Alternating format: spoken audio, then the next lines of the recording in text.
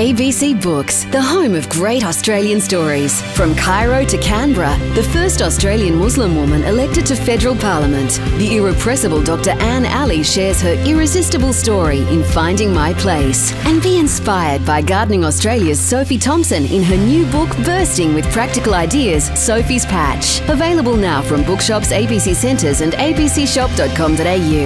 ABC Books, the best Australian stories from the best Australian writers.